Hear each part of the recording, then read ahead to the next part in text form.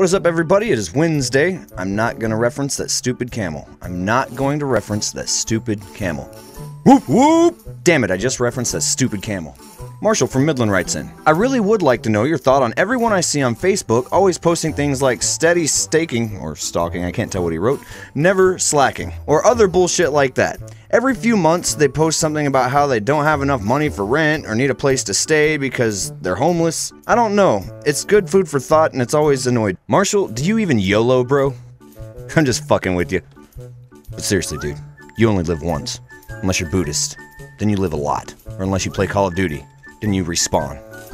Marshall, that's actually a good one. I don't think it's really what's being said that bothers people as much as it is the person who's saying it. Think about it. You'll put up with stupidity from someone you like, but someone you hate can pretty much do anything and it'll make you want to smack them with a chancla, or as I prefer to call them, Bethlehem Flyers. Someone like Jim Carrey could say jokes all day about domestic violence because he's awesome and people love him. Whereas someone like Ray Rice might want to avoid those jokes for a while. Domestic violence jokes are now Ray Rice's Ebola pretty much. Avoid the living hell out of it. Katy Perry could joke about beating a puppy with a kitten all day long and I wouldn't hear a word she said because boobies. Whereas Michael Vick can't even say something like, Hey, I'm about to kill it, dog, to a reporter who just asked him how his last game's gonna go for fear that he'll get mobbed and lynched by PETA. I am Dear Asshole. That's all the time I have for today. Remember to go like me on Facebook at KBAT's Dear Asshole. And as always, opinions are like assholes. Everybody has one, and KBAT is no exception. If I've pissed you off today, well, then you probably don't like me, and whatever I say is gonna piss you off anyway, so feel free to go fuck yourself.